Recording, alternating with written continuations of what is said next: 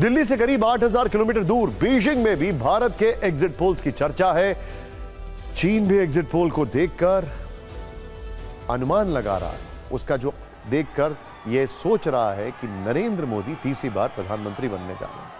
चुनाव परिणाम देखने से पहले ही चीनी सरकार के मुखपत्र ग्लोबल टाइम्स के सुर बदल चुके हैं। ग्लोबल टाइम्स में नरेंद्र मोदी और भारत के पहले प्रधानमंत्री पंडित जवाहरलाल नेहरू की चर्चा हो रही है। ग्लोबल टाइम्स ने लिखा है कि जीत मिलने पर जवाहरलाल नेहरू के बाद तीसरे कार्यकाल की उपलब्धि हासिल करने वाले नरेंद्र मोदी दूसरे राजनीतिक शख्सियत बन जाएँगे। अब सवाल यह है कि चीन के रुख में यह बदलाव क्यों आया? मोदी सरकार के तीसरे कार्यकाल की संभावना पर चीन सरेंडर मोड में क्यों दिख रहा है? क्या जिनपिंग को लगने लगा है कि मोदी को साथ लिए बिना बदलते वैश्विक परिदृश्य में चीन कहीं टिक नहीं पाएगा?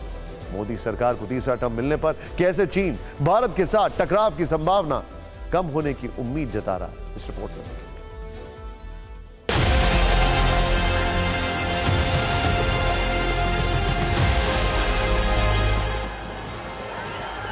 चीनी मुखपत्र ग्लोबल टाइम्स ने अपने आर्टिकल में पाँच जगहों पर नरेंद्र मोदी के लिए तीसरे टर्म का ज़िक्र किया है।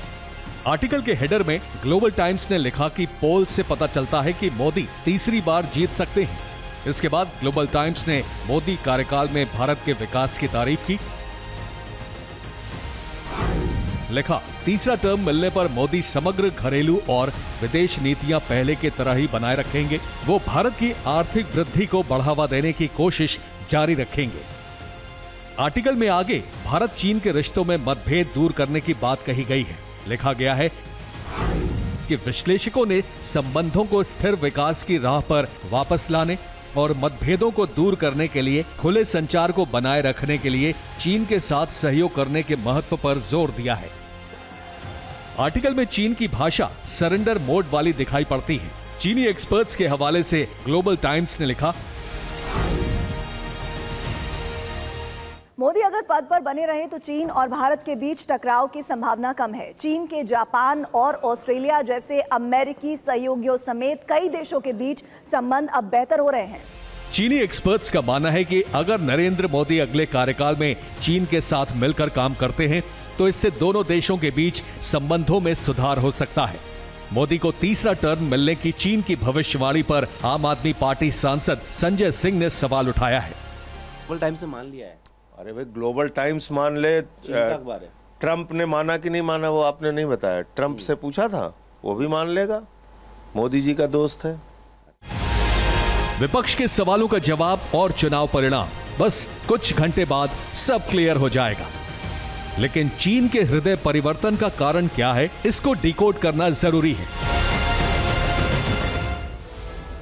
चीन ने मोदी सरकार के तीसरे टर्म की जो भविष्यवाणी की है उसमें खासतौर पर भारत की। आर्थिक तरक्की, द्विपक्षीय संबंध, विदेश नीति और टकराव कम करने पर फोकस किया है। इससे साफ़ है कि चीन भारत के साथ अच्छे कारोबारी रिश्ते चाहता है।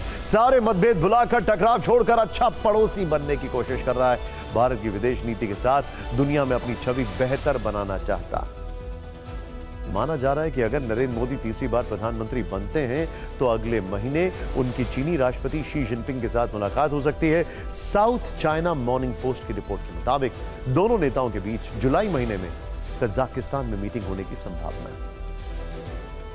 चीन ही नरेंद्र मोदी का मुरीद नहीं हो रहा है, बल्कि अगर मोदी तीसरी बार प्रधानमंत्री बने तो वो दुनिया के इकलौते वर्ल्ड लीडर होंगे, जो परमाणु तबाही को रोक सकते हैं, युद्ध वाले देशों के बीच संकट मोचक बन सकते हैं रूस यूक्रेन युद्ध में पीएम मोदी कई बार अंतर्राष्ट्रीय मंचों से शांति की पेशकश करते रहे हैं। दुनिया जानती है कि रूसी राष्ट्रपति पुतिन नरेंद्र मोदी को अपना सबसे अच्छा दोस्त मानते हैं। पीएम मोदी ही युद्ध काल में शांति का संदेश दे सकते हैं और विश्व युद्ध वाले विध्वंस को रोक सकते हैं।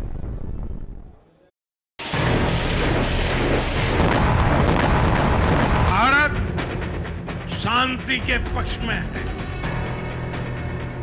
बातचीत से हर समस्या को सुलझाने के पक्ष में है। एग्जिट पोल में जिस वक्त तीसरी बार मोदी सरकार बनने के संकेत दिख रहे हैं, ठीक उस वक्त यूक्रेन युद्ध में रूस और नेटो के बीच टकराव ऑल टाइम हाई है नेटो रूस के साथ युद्ध की दहलीज पर खड़ा है। हंगरी के पीएम विक्टर ऑर्बन ने बड़ा दावा किया है। इसके अलावा जर्मनी और रूस के बीच भी तनातनी तेज हो गई है। जर्मनी में सैनिकों को इकट्ठा करने की तैयारी चल रही है। 9 लाख रिज़र्व फोर्स बुलाने पर विचार हो रहा है। जर्मनी रक्षा समिति के अध्यक्ष मैरी एग्नेस ने दावा किया है कि ये किसी भी हमले के लिए तैयार रहने का वक्त है। रूस और नेटो के बीच बढ़ती ये तकरार किसी भी वक्त महायुद्ध या परमाणु युद्ध में तब्दील हो सकती है।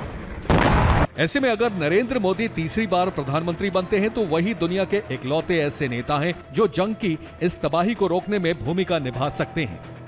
क्योंकि रूस यूक्रेन युद्ध में भारत ने तटस्थ रहकर हमेशा शांति का पक्ष लिया है। पुतिन नरेंद्र मोदी को अपना दोस्त मानते हैं और उनके कहने पर वो युद्ध में विराम भी लगा चुके हैं। प्रधानमंत्री नरेंद्र मोदी ने वॉर रुकवा दी थी। यूक्रेन में? या। हाँ। कैसे? आ, उन्होंने दो बार वॉर रुकवाई। प्रेसिडेंट पुतिन से बात की और कहा कि देखिए आपके साथ ये अंडरस्टैंडिंग है। आपको यहाँ फायरिंग नहीं करना चाहिए ये कोऑर्डिनेट्स हैं। तो मैं आपसे डायरेक्टली अपील करता हूँ कि आप इसको रोकिए।